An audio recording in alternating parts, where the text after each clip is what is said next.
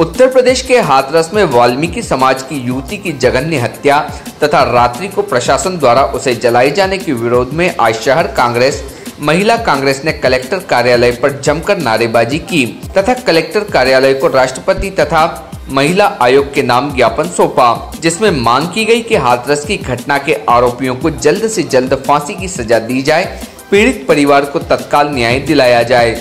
भारतीय न्यूज़ के लिए धार से साबिर खान, एफएम की रिपोर्ट। हाथरस के लिए इतना ज्ञापन सौंपा गया है, क्योंकि मनीषा वाल्मीकि, जो एक कन्या थी 19 साल की लड़की, उसके साथ बलात्कार करके, उसकी रीढ़ की हड्डी तोड़ी गई, उसके हाथों दो दांतों और जबान को काट दिया गया और रातों रात अंतिम संस्कार किया गया। उसके परिवार वालों को भी नहीं दिया गया।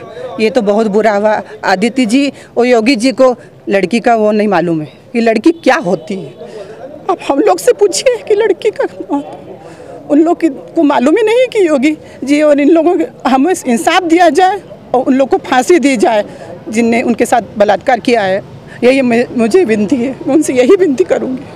महिला कांग्रेस जिला महिला कांग्रेस शहर कांग्रेस, युवक कांग्रेस, तत्वाधान में कलेक्टर साहब को और ज्ञापन सौंपा गया महामहिम के नाम और राष्ट्रीय महिला आयोग। के नाम ज्ञापन सौंपा गया है, जिसमें मनीषा के हत्यारों को फांसी देने की मांग की गई है, जिस क्रूरता से और निर्ममता से उसकी हत्या की गई है, उसका बलात्कार किया गया, एक बहुत ही निंदीय घटना है सभी समाज के लिए, इसका कांग्रेस पार्टी और सभी समाज घोर निंदा करते हैं, एवं योगी से मांग करते हैं कि अपना इस्तीफ़ा दें और दोषियों को फांसी दें।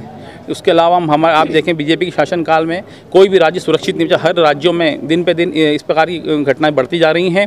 महिला कहीं भी सुरक्षित नहीं है। इसको लेकर कांग्रेस ज्ञापन दिया है और राजीव गांधी अपना राहुल गांधी जी और प्रियंका गांधी जी का जो उन्होंने गलत हरकत करी, योगी सरकार उसके खिलाफ भी हम उसी की कड़ी निंदा करते हैं। Subscribe now to most exciting channel ever.